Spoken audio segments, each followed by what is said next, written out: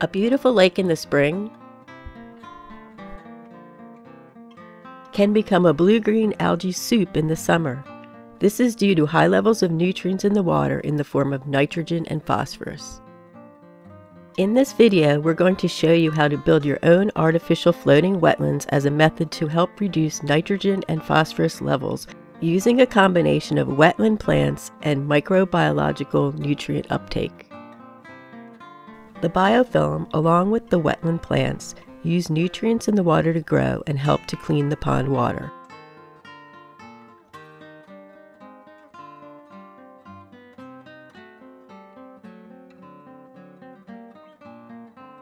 Here's the list of materials that we will use to build our floating wetlands.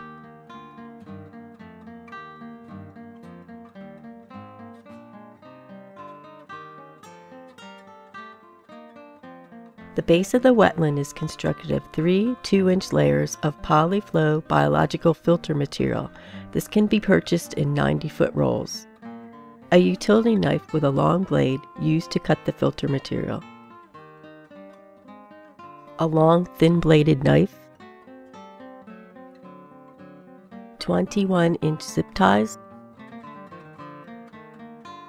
A drill with a 2-inch hole saw attachment.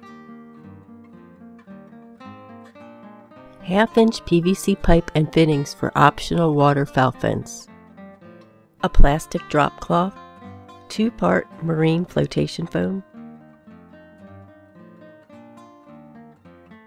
Starting with a roll of filter material, cut three 10-foot lengths.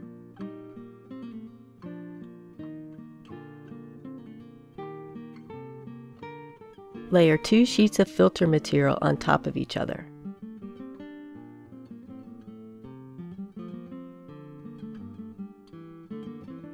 Using the knife, poke a hole in each corner and insert a zip tie to join the filter sheets together.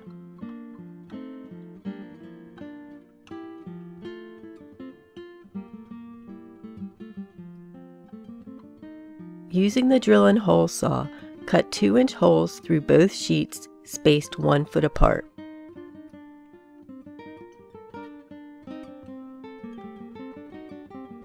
Place a third filter layer without holes on top and zip tie all three layers together, fastening around the edges about one and a half feet apart. This solid layer will eventually become the bottom of the wetland. Place all three layers on top of the plastic drop cloth. Mix the two-part marine foam together.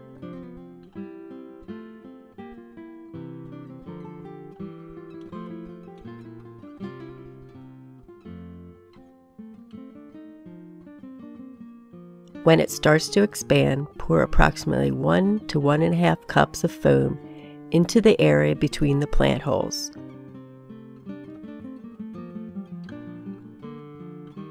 The foam will flow down through all three layers, expanding within the filter material. Let the foam cure overnight and then flip the wetland over. The plant holes should now be facing up. When ready to plant, move the wetland to the shoreline of your lake or pond for final assembly.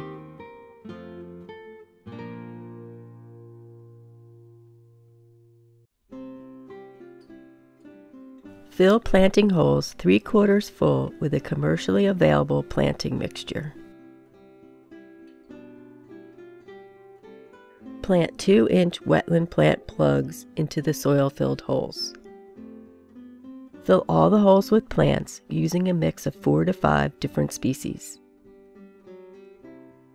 Use native wetland plants that can tolerate having their roots constantly immersed in water. The floating wetlands can be tied together or deployed individually. Attach the anchor system. Concrete blocks are commonly used.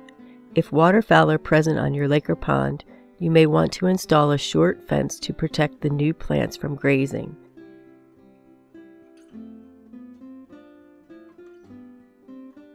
Now tow your wetland out to the site and deploy the anchors.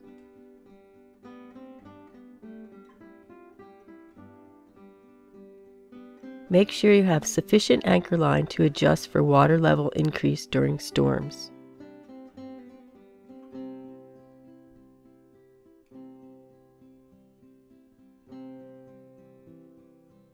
Your plants will now start to grow and the floating wetlands will begin to soak up nutrients from the water.